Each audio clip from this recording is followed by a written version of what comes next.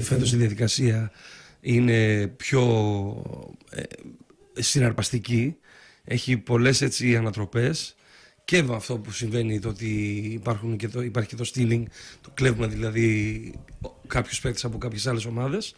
Αυτό και μόνο, αλλά και γενικά όλη η κατάσταση είναι πιο συναρπαστική και υπάρχει μεγάλο suspense και πραγματικά γίνεται ένας χαμός στα battles και το χαιρόμαστε πάρα πολύ. Ο Χρήστος απλά του έκανα με πολύ έτσι σεβασμό και αγάπη την πρόταση.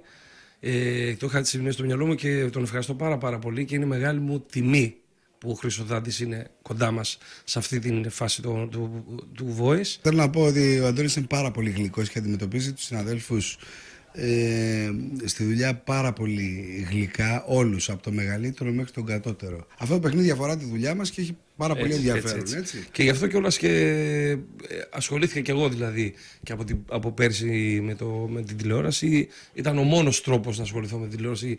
Κάτι που θα έχει βάση και μόνο ε, την, ε, το τραγούδι και τη μουσική. Και πόσο βέβαια αυτό που είναι έτσι ένα προϊόν παγκόσμιο όπως είναι το Voice. Ο Σεβάν είπε ότι θα νικήσει η Δέσποινα Βανδύ. Εσείς τι ανταπαντάτε; Βρε... Τον έχουμε τον ηγητή εμείς από τα αποδητήρια. Είναι κερδισμένος ο Αντώνης. Ο Σεβάν μπορεί να είπε πέρυσι να, πούμε, να, να έπεσε μέσα και ε, μαγκιά του, αλλά φέτος τα πράγματα ήταν διαφορετικά. Φέτος παίζουν άλλοι. Ε, ε, είναι άλλα παιδιά, είναι άλλοι παράμετροι. Τώρα θα δούμε. Αν πέσει και φέτος μέσα, θα πάμε να τρέχουμε κάθε μέρα, θα ξυπνάμε κάτω από το παράθυρο ναι, του Σεβάν να λέμε τι. τι, τι... Πες μας το λότο, πες μας τους αριθμούς.